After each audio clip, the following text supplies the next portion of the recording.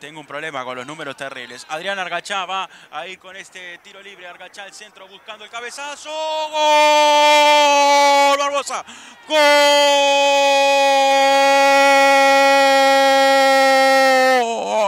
Del centro Atlético Fénix, el centro de Agarchá y el pelado Andrés Barbosa, el número 15, conecta el cabezazo y contra el caño derecho la manda a guardar. Dice que Fénix le gana 1-0 a Progreso.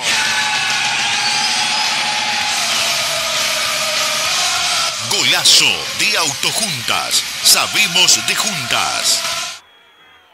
Haciéndolo honor a su apodo, el misil, el cabezazo de Barbosa para poner el 1 a 0, pero también hay gran mérito, gran porcentaje del gol en el guante. Se la dejó en la cabeza el jugador Adrián Argachá, gran pegada y gran testazo para poner el 1 a 0 en un partido parejo.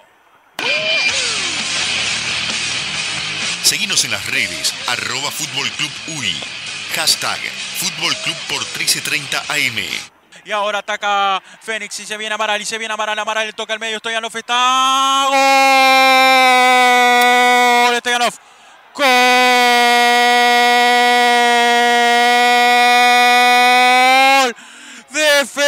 El Lolo Stoyanov. La conexión entre un ex nacional y un ex Peñarol. El mago Amaral hizo la jugada individual. El toque al medio como en el play. Y el Lolo Stoyanov la define para marcar el 2 a 0. Aparece el 11, aparece Stoyanov. Fénix 2, progreso 0 en el Capurro.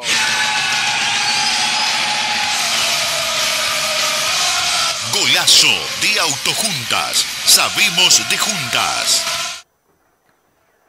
Gol que sentencia el partido acá en el Capurro. Una rapidísima transición de defensa-ataque. Encontró a Escorza que habilitó y lo dejó de mano a Rodrigo Amaral para que quede de macho ante Nahuel Suárez y muy gentil él habilitó como en la jugada anterior a Lolo Stoyanov que esta vez no devolvió y trató de definirlo él, liquidó el partido el Lolo y Amaral definen el encuentro. Seguinos en las redes, arroba Fútbol Club UI. Hashtag Fútbol Club por 1330 AM. Con Colman la caen en el área y cobran penal. No te puedo creer. Caía el hombre de progreso en el área y hay penal para el gaucho. Esto me suena a penal de partido liquidado. Queda un minuto prácticamente. Ayudín. No, no sé si un ayudín, pero bueno, viste que muñequean a veces los partidos los árbitros. A mi entender, Daniel Rodríguez se apresura. Es un toquecito. Puede ser que lo desestabilice cuando esté en el área, pero en, en- en el aire, pero a mi entender no, no es un, un contacto de penal. Aparte es el penal y se termina porque estamos a la hora. ¿Cómo lo viste vos, Rafa? Y para mí que se lo lleva por delante. ¿eh? Eh, vi solo una imagen, pero yo creo que el jugador Colman no puede rematar de la mejor manera porque se lo llevan por delante. Es el penal y termina. Así lo gritaron los asistentes del Nacho Payas también y así eh, lo marca el cronómetro nuestro del Fútbol Club. Va a ser el penal y se termina. Francisco Casanova en la línea del arco, en la línea de sentencia, como más le gusta. Veremos quién es el que le pega. Está Colman, está Ayes. Eh, creo que finalmente es el 9, ¿no? El que se queda con la pelota o no. ¿Va a ir el 9 o va a ir el Papu Barbosa que tiene buen pie? Para mí que va a ir Ayes.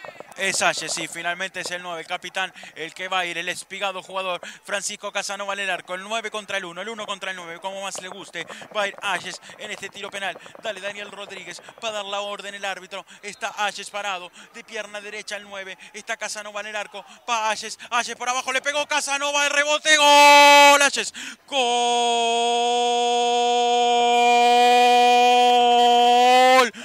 progreso, Gustavo Ayes no pudo de tiro penal porque Francisco Casanova adivinó su intención, pero tras el rebote Ayes de cabeza con el pecho, con la tetilla, no sé con qué le dio, pero la mandó a guardar el 9 para descontar. Ahora Fénix gana 2 a 1 sobre progreso.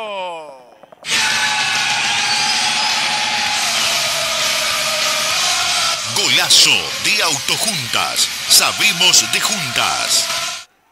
Un gol que solo sirve para premiar el esfuerzo de ir y buscar y buscar del jugador Ayes ante los embates de los rivales. No tiene mayor suerte progreso que no le alcanza para lograr el empate. Seguinos en las redes, arroba Fútbol Club UI.